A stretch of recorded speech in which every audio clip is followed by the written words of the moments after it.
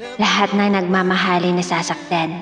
Siguro, once you fall in love, kakayanin mo lahat.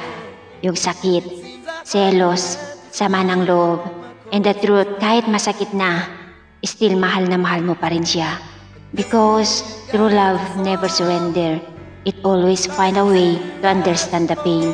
Minsan talaga kailangan mong kalimutan yung nararamdaman mo sa isang tao. As long na iniisip mo, kumakapit ka, nasasaktan ka na ng sobra, nagtitiis ka. Masarap at masaya naman talagang magmahal, lalo na't mahal na mahal ka din ng taong mahal mo. Pero kung mas lamang yung sakit, it means ikaw na lang yung matibay sa pagmamahalang sinimulan ninyong dalawa. May hirap lumabang mag-isa, lalo na't yung taong pinaglalaban mo ay sumuko na. Sa buhay natin may lungkot, meron ding saya. Darating yung araw na masasaktan ka, pero bawat sugat maghihilom. Maaari mag-iwan ng pilat pero maalala mo ang aral sa iyong nakaraan. Hindi naman habang buhay mararamdaman mo yung sakit. Huwag mong itali ang sarili mo sa nakaraan. Huwag mong hayaan ang nakaraan ang magpapaikot sa iyong hinaharap.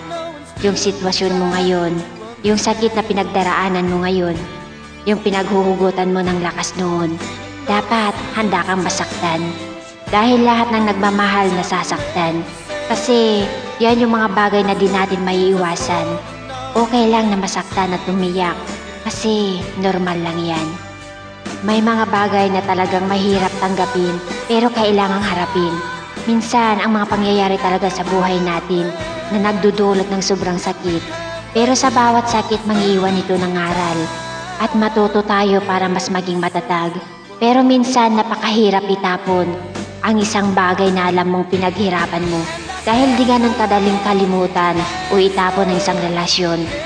Nasakit at luha ang naging puhunan mo na makasama lang siya na kahit anong gawin mo, ibigay mo man ito lahat, hindi hindi pa rin ito maging sapat. Kung ikaw mismo ang hahakbang sa taong hindi mo gustong iwan pero kinakailangan.